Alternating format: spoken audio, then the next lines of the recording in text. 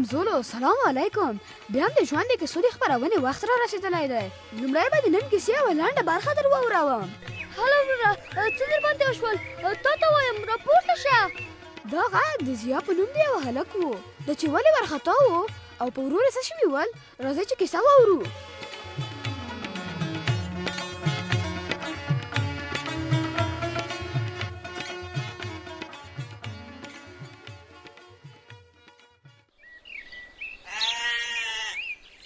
هی هی اتما زما په دې وري باندې څه شوي دي چې له خولې نه یې داسې ځګونه روان دي اوهو دا خو خوراک هم نه کوي خو زه ښه دی له دواخانې نه مې دوا ورته راوړې ده ته صبر په اوبو کې ورته حل کړم او دې وري ته یې ورکړم که خدای کول ښه به شي صبر په دغه اوبو کې دا دوا ورته حل کړم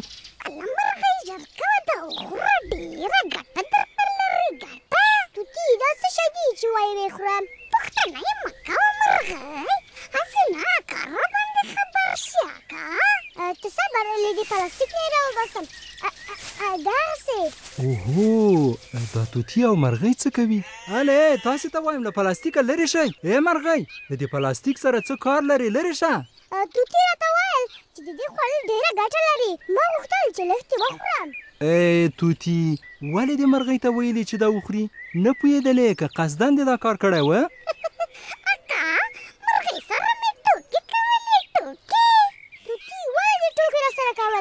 زه درنه خفه شوم درنه لاړم. وۍ مرغۍ خو لاړله. ای هی توتی ښه شو چې ما مرغۍ پرې نه ښودله چې هغه وخوري که نه حتمن به د زبیر او ضیا کانه پرې شوې وه. زبیر او ضیا اله نو اکا ته ته ګورې کیسه یې پیل که کیسه. سمه ده توتی ښه راته غوږ شه ښه. غوږ یم غوږ. کیسه خو داسې وه چې یو وخت د زبیر او ضیا په نومونو دوه ورونه په یوه کلي کې اوسېدل. د زبیر دوی پلار بزګر و. یوه ورځ دواړه ورونه له پلار سره ځمکو ته لاړل. هو توتی، پلار یې له دوی لږ لرې د جوارو پټي په اوبو کولو لګیا و. شېبه وروسته زبیر پر ځمکه ولوېد. ضیا ورور یې ډېر وارخطا شو.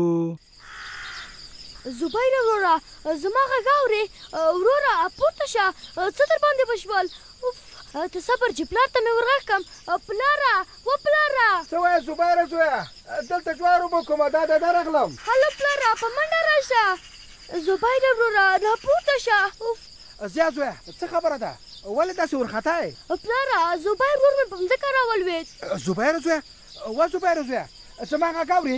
راپورته شه. وی دا ولې په دې حال شو؟ نه پوهېږم پلاره، خو حال یې ډېر خراب دی، اوس به څنګه شي؟ زبیر زویه، زبیر زویه، سترګې دې خلاصې کړه. وی وی له خولې نه یې څنګه ځګونه را روان دي. هله زبیر وروره راپورته شه چې کور ته لاړ شو. وه زیا زویه، ته خو له زبیر سره وې، ولې په دې حال شو؟ پلاره ما زبیر ته وویل چې جینۍ ته به په اوبو پسې لاړ شو، خو هغه وخت زه نه ځم، کله مې چې اوبه راوړلې، زبیر ضعف کړی و او خبرې یې نه شوای کولای. هله زیا زویه! مرسته وکړه چې ورور دې ولسوالۍ کې کلینیک ته ورسوو، هله! هله ونیسه، ونیسه، دا، دا پکې ونیسه، دغسې، آفرین، راځه.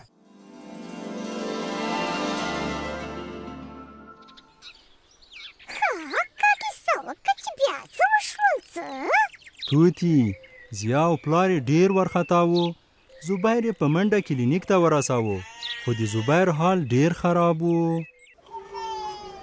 پلاره د زبیر ورور حال مې ډیر خراب دی دا به څنګه شي خیر د زوی جان خدای مهربانه ده چې ښه به شي هغه دی ډاکټر صاحب هم راغی سلام علیکم وروره ناروغ چیرته دی وعلیکم سلام ډاکټر صاحب دغه وینې ده په دغه اتاق کې بستر دی راځئ چې ورننوځو خیر ده ډاکټر صاحب لږ مرسته وکړه چې په دا زوی مې څه شوي دي. سمه ده وروره ته صبر چې زه یې وګورم. اوهو له خولې یې څنګه ځګونه راغلي دي. ورور جانه په زوی دې څه شوي او له کوم ځایه دې راوستلی دی؟ ډاکټر صاحب که رښتیا درته ووایم زه پخپله بزګر یم. په ځمکه کې مې کار کوه پوه نه شوم چې زبیر ولې زوپ وکړ. ما هم کار پرېښود او په منډه مې دې کلینیک ته راورسوه صاحب. ښه ښه لومړی باید معده پاکه ورومینځو. کوم خطرناک شی خوړلي دي فکر کوم زهر یې خوړلي دي څه تا څه وای ډاکټر صاحب زهر یې خوړلي دي هو وروره یا زهر خوړلي یا یې هم بل کوم خطرناک شی خوړلي دي والکه ته دې هم له ورور سره وي هو ډاکټر صاحب زه چې اوبه پسې تلم روغ جوړ و کله مې چې له چینې اوبه راوړلې زوبر رور مې زوف کړی وو. ښه ښه ضیا جانه ته ماته ووایه کله چې تاسو یو ځای وای څه مو کوله؟ ډاکټر صاحب زه له زبیر سره وم او له موږ سره. ووایه ووایه زوی جانه مه ډارېږه. ښه بیا څه وشوله ټوله کیسه راته وکړه.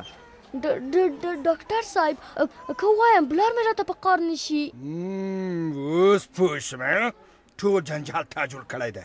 ووایه وه په ورو دې څه شوي دي وه هله. ای ورور جانه ورور جانه ته مو ورته په قارېږه زه خبرې ورسره کوم ضیا جانه زه وعده کوم چې پلار به دې پرې نه ږدم چې څه درته ووایي ووایه چې په زوبیه رور دې څه شوي دي سمه ده ډاکټر صاحب درته وایم یې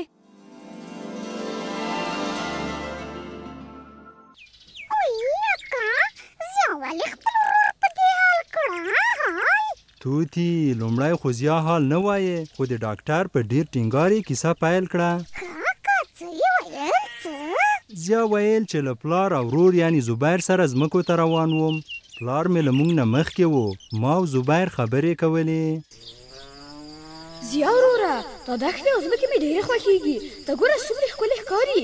هو وروره دا ځای ډېر ښایسته دی، کله کله دلته راتګ هم ښه وي. هغه مخکې ورځ مې له پلار سره راغلی وم، خو په تنګ شوم، ته نه وې د ترور کره مې تللی ولې؟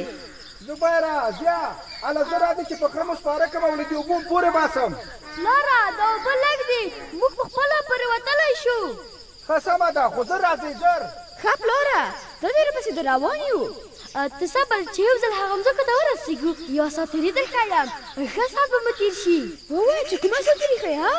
ته راځه زبیره اوس به خپله پوه شې. هغه بوتل وینې چې د پلار په لاس کې مې دی؟ هو وینم یې د شړومبیو تروه په څېر بوتل دی. هو زه وایم هغه د شلومبو بوتل دی مور مې جوړې کړې دي زما شلومبې ډېرې خوښېږي سمه ده چې یو ځل هلته ورسېږي بیا به په ګډه وسیکو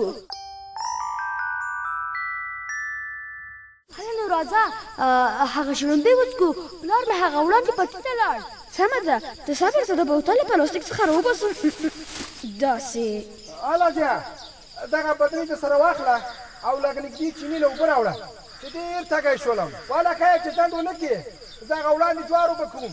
پلاره تشویش مه کوه په منډه یې راوړم. راځه زبیره دواړه به لاړ شو.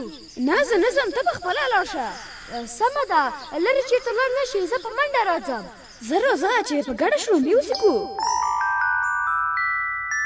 اوف د زوی خو ډېر ځنډ وکړو تر څو پورې چې هغه راځي زه به لږ ځل کې شړومبې وڅښم صبر چې دا سرپوښ یې خلاص کړه داسې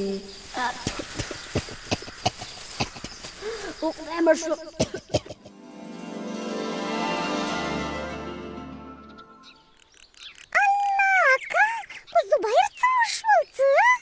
توتي، زبیر فکر کاوه چې هغه بوتل کې به شړومبې وي، خو هغه بوتل کې یې پلار د جوارو لپاره دوا جوړه کړې وه، غوښتل یې جوارو باندې وشیندي، خو زبیر هغه وخوړله، هماغه و چې زوف یې وکړ او ولوېد.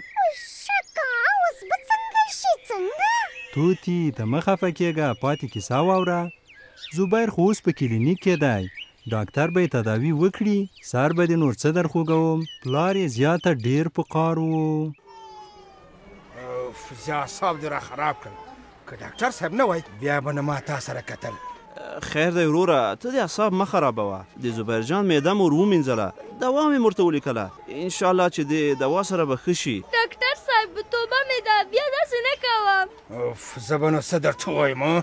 تا غوښتل چې خپل ورور ته تاوان ورسوې پلاره موږ فکر کوو چې هغه شړومبی دي پلاره لږې اوبه ولې نه زار دې شم زوی جانه ښه شو چې په هر راغلي اوس به اوبه درکړم ته ودرې دا جګ زره واخلم دا دي واخله چې وچکه او زبیر وروره شکر چې ښه شوې اوس څنګه یې اوس مې عمل ښه نه دی سر مې درد کوي ټول ځان مې درد کوي.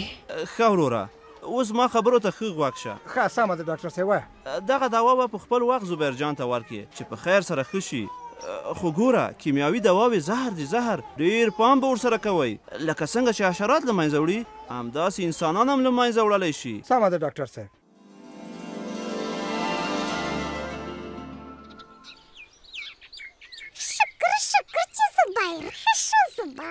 هوز ماشین وزریا توتی له کیمیاوي موادو لکه حشره وژونکي دواوې د موږکانو دواوې کود یا سرې سره بې احتیاطي کول ډیر خطر لري اوس پوه شوم ما هم خل کول چې له مرغۍ سره مې ټوکې کولې که هغه دوا یې خوړلې وای اوس به د مرغۍ حالم خراب و خراب. هو طوطي هغه دوا ما د مڼو لپاره جوړه کړې وه غوښتل مې هغه دوا د مڼو په ونه باندې وشیندم چې حشرات ورسره ورک شي خو ښه شو چې ته دیم خپلې غلطۍ ته متوجه شوې. زه هم اوس ځم او د مرغۍ نه بخښنه غواړم بخښنه. ډیر ښه کوې طوطي ځه نو ته لاړ شه له مرغۍ نه بښنه وغواړه، زه به هم لاړ شم تر څو راتلونکې اونۍ ته یوه بله نوې کیسه را پیدا کړم. د خدای په امان اکا.